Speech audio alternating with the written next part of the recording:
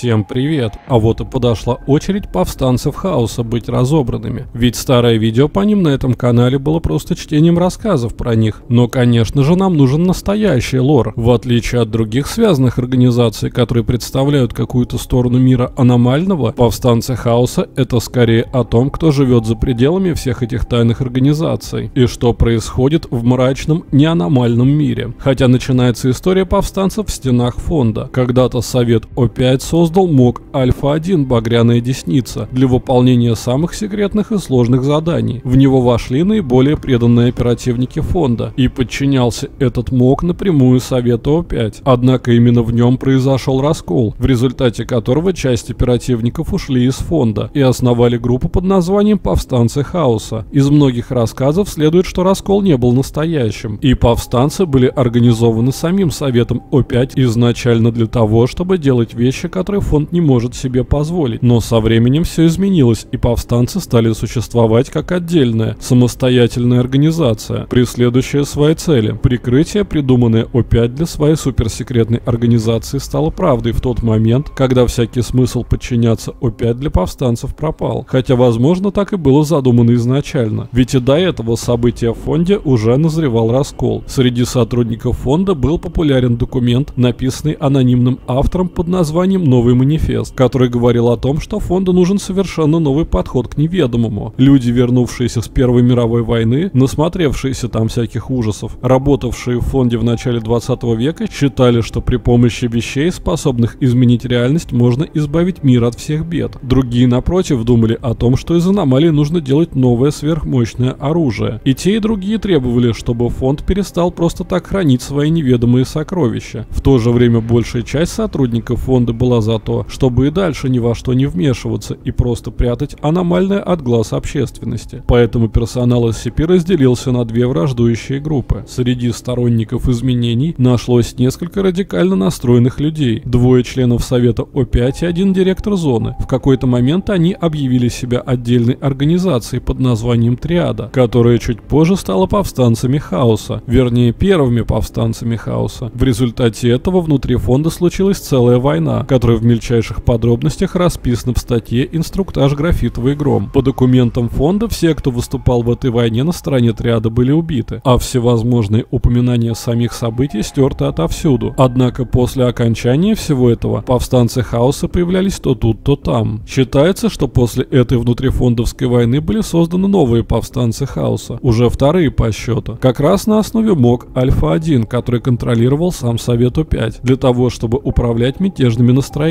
Кроме этого, руками повстанцев хаоса фонд поначалу делал самую грязную работу, которая могла бы подорвать репутацию фонда, например, в глазах комитета по этике или, наверное, саркицистов напугать. В общем, делали они что-то прямо очень нехорошее, что даже боялся делать фонд, о котором толком никто не знал. Однако созданная по образу и подобию фонда организация, состоящая из мятежников, вскоре стала действовать самостоятельно во главе с неким дельта-командованием, про которое лора нет от слова нифига, но которое стало решать судьбу организации самостоятельно, без оглядки на хитрые многоходовочки О5. Дельта-комитет возглавил, видимо, уже третьих повстанцев Хаоса. Как связанная организация, повстанцы Хаоса появились во вселенной SCP чуть ли не с самого начала и встречаются в самых старых объектах. Объекты SCP-244, SCP-355, 842 и многие другие были по сюжету захвачены на базах повстанцев. Вообще, пока я делал сценарий к этому видео, мне попалось три десятка объектов, в описании которых написано, что они были захвачены фондом на складе или базе повстанцев. Так что такое, видимо, происходит довольно часто. Даже SCP-5342, а это, между прочим, резиновые уточки класса Кетер.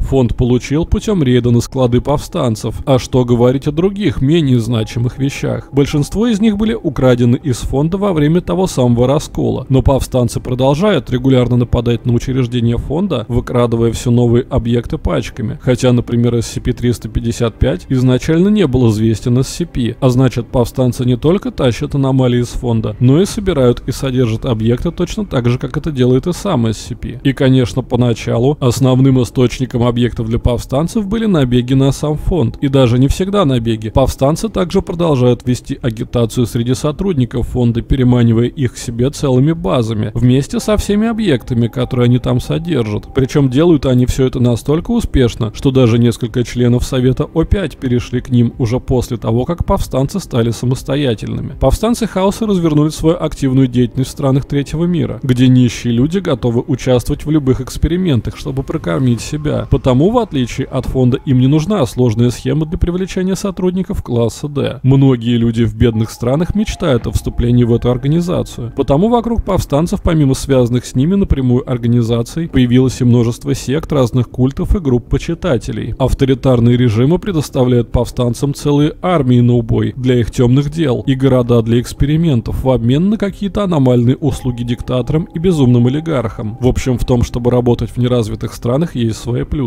Из всех этих людей формируется альфа-класс сотрудников, которые часто даже не знают, что и зачем делают, а потери среди альфа-класса чуть ли не больше, чем среди D-класса фонда. Благодаря такому своему влиянию повстанцы легко обнаруживают множество аномальных людей, но вместо того, чтобы содержать их как фонд, повстанцы берут их к себе на работу. Пользуясь поддержкой беднейшей части человечества, они быстро нарастили свою силу и в текстах поздних объектов, например, четвертой тысячи, они показаны как серьезный противник фонда, который захватывает SCP-объекты один за другим. Если в ранних объектах пишут о каких-то единичных нападениях оперативников и аномальных сущностей повстанцев на фонд, то в поздних повстанцы организовывают уже масштабные военные операции и громят целые фондовские зоны. Кроме того, со временем повстанцы стали все реже нападать именно силами оперативников и все чаще запускать всякую аномальную дичь к своим противникам. Причем повстанцы даже не всегда способны более-менее управлять всей этой дичью. Например, существо, известное как SCP-2490, которое повстанцы наслали на фонд, до этого охотилось на самих повстанцев. В общем, эти ребята охотно применяют разных агрессивных гуманоидов, предметы с экстрамерными свойствами и разумные компьютерные вирусы, да и много всего еще. Может показаться, что повстанцы и SCP это похожие организации, которые занимаются в основном тем, что отнимают друг у друга вещи. Но вот на то, что дальше делать с артефактами, и главное как, взгляды у них совершенно разные. Главное отличие в том, что повстанцы не считают,